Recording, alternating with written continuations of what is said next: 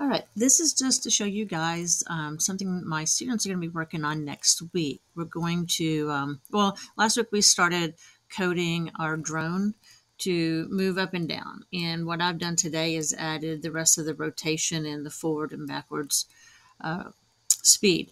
What I'm going to have them also do is add something to their project that they have to have someone else search and find. So I'll show you what is going on with that right now. So we added another 3D object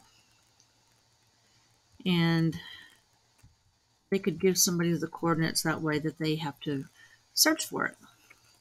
And then by looking at the coordinates, you can see while I'm moving my drone, it gives you the updated coordinates of where it's at. So that's how they'll be able to give someone the coordinates and say, okay, this is what you got to find, or list what you have to find. Otherwise, they'll be tooling around in their little cities or wherever they're at. Some have a castle, some have a village.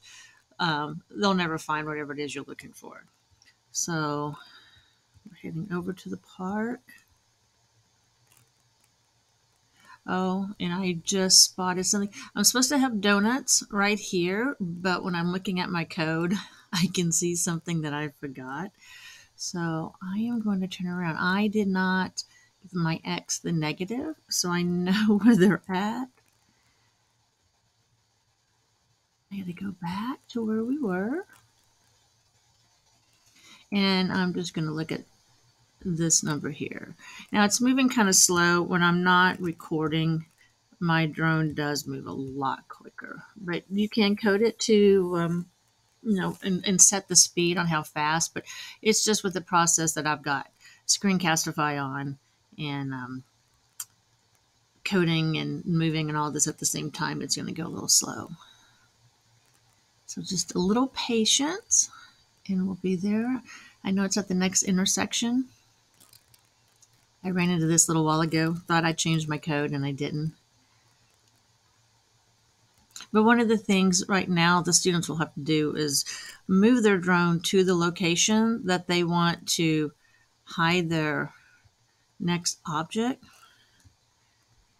to get the coordinates. Um, I do want to find out if there's another, an easier way to do that. Oh, look, there they are.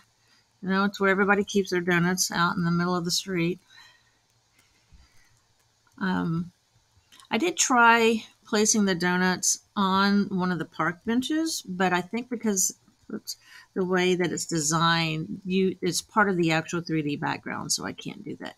I'm having a little trouble. I'm forgetting what my what my um, code is. That right? There we go. We found our donuts. We get a point. Yay!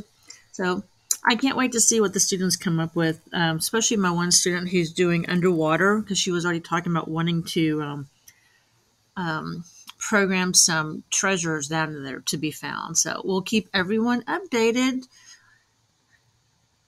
Thanks for watching.